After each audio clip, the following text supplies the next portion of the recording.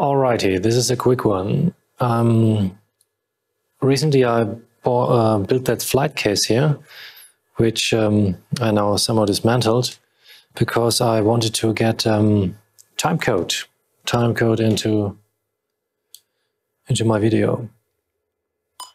And um, as it seems, the um, this television studio does not really support timecode. This is the device I have here.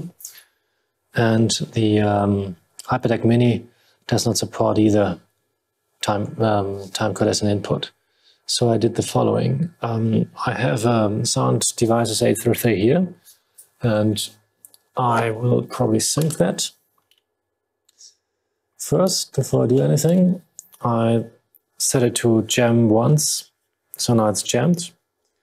And um, what I'm doing now is I will try to disconnect that and connect the um, LEMO. Oh, damn it. I will connect the um, the LEMO 5 cable um, to my mini converter audio to SDI. Can you see that?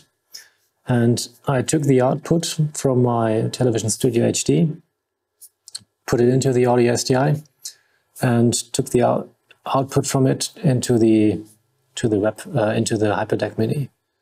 And um, with that, I actually embed the audio on channel number three, and um, the the HyperDeck is set to um, I can't really see that.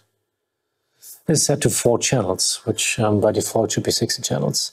Anyway, um, by that, you will not see that the timecode is being inserted into the SDI stream, but you can see somehow the audio, the, the audio levels on the, on the left and right side, and you can somehow see it here on the on the uh, HyperDeck Mini as well, maybe. But um, the third channel is uh, nevertheless recorded and um, will be on, on the final video. And um, by doing that, you actually get the timecode from the recorder into the video and when you want to um, get the, um, the time code uh, from the audio track, for example, in DaVinci Resolve, you just say uh, click, uh, right click, um, read audio TC, and then it's being inserted into the video file. So this is it, quick one, maybe not the best sound, maybe not the best video. I'm filming that with my GoPro Hero 7 Black, and I'm talking into a um, Voice Technologies VT500 lavalier microphone that is, I can actually show it to you, is connected to my um, Zaxcom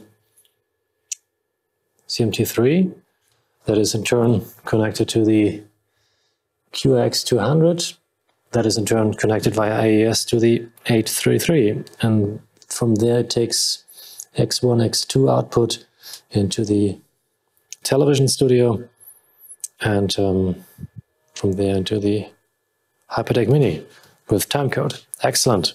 So, till next time.